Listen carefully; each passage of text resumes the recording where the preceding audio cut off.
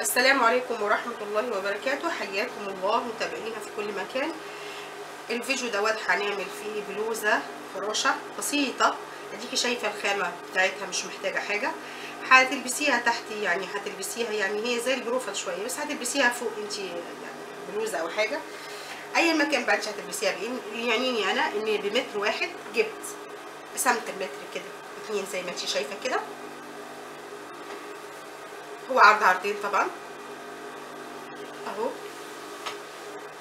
بخلي الجزء اللي فوق ده مقفول كده بالشكل ده مقفول كده وبعدين هتني الكتاف على بعضها كده وهجيب السنتي وهجيب السنتي بتاعي وهفتح هنا السبرينه بتاعت الرقبة. هفتحها زي ما أنا عايزة. مثلا عايزاها 10 سم عايزاها 9 سم اي مكان أنا هنا هفتحها هو 9 سم أهي. فتحتها 9 سم والعرض هنا هفتحها 5 سم أهي. وهعمل كده. بمنتهى البساطة وانت قاعدة على المكنة لو قمتي ولا رحتي ولا جيتي. أهي كده ده شكل الفتحه بتاعت الرقبه كده بالشكل ده بعد ما فتحتها كده الرقبة بالشكل دوت هتنيها قبل بص بس أحدد علامة الكتف عشان ما تروحش مني. أحدد علامة الكتف عشان الكتف ما يروحش مني. هنا كمان حددت علامة الكتف كده وهفتحها بالشكل دوت. وهقفل. لو نفع الخامة دي القماشة دي مش نافعة عندي أعملها over لما عملتها over لقيت شكلها مش حلو ابدا. فأنا هجيب الظهر كده. وهتني السبرينة. أو فتحة الرقبة. طبعا هي هنا نافعة ليه؟ لأن أنا عاملاها زي ما قلت عاملاها كده بالشكل ده.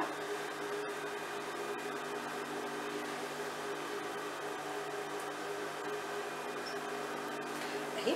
عاملاها. شايفة أنا هنا حطيت الدبوس بالعرض كده بقول لنفسي انتبهي ان هنا ده خط الكتف أنا عملتها هنا ما فتحتهاش يعني ما عملتهاش 8 ب 8 أو 9 ب 9 عشان ما اورهاش لحد تحت هنا ليه؟ لأن أنا لو اورتها هضطر أعمل لها سجاف إنما هي عشان هنا سابرينا مرتاحة فسهل عليا إن أنا أقلبها للداخل بالشكل دوت تانية بسيطة أهي وأعملها واخيط عليها إنما لو كنت هعمل لها الرقبة العادية اللي إحنا بنعملها في الباترون كنت في الحالة ديت هضطر أعمل لها سجاف أو بطانة أو يعني كان لازم أنضفها بأي شكل من الأشكال.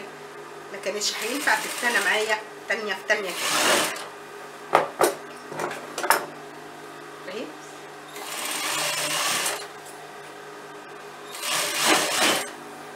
طبعا هي طالع منها خيوط كتيرة زي ما أنت شايفة.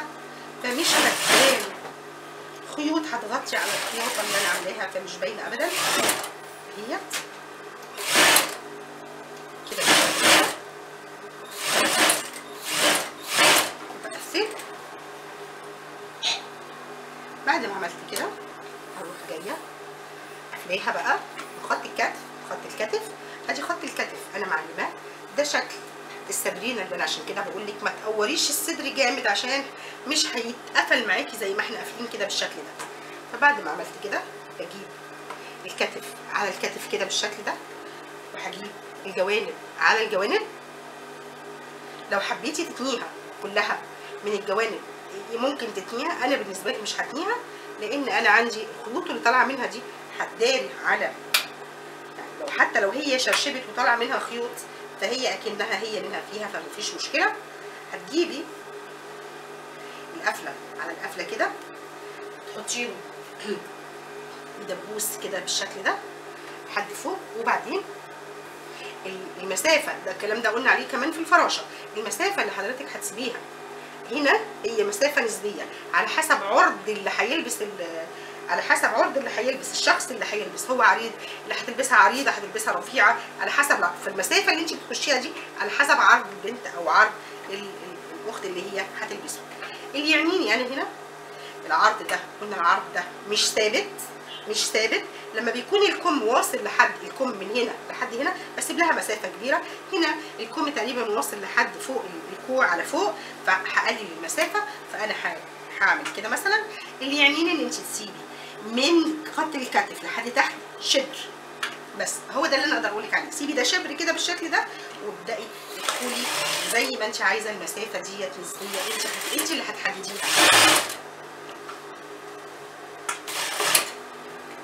اهي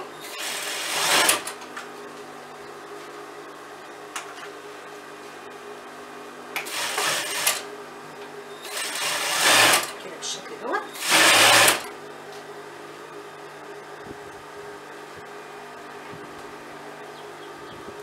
شايفة هنا القماشه بعمل دي كده الاتنين قد بعض كده بالشكل دوت.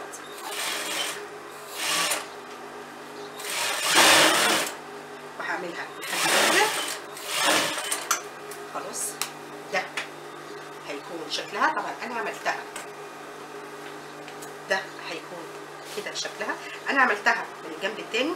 إذا حبيتي تلبسيها وحطيتي هنا مثلا حزام هنا في الوسط ايا مكان نوع الحزام هتفتحي له تعملي له عروة هنا من الخياطة زي ما عملنا في الفراشة هتفتحي له مثلا عروة هنا وتحطي حزام هنا. على حسب انت الفكرة اللي انت عايزاها هحطه لك على المانيكان وهتشوفيه.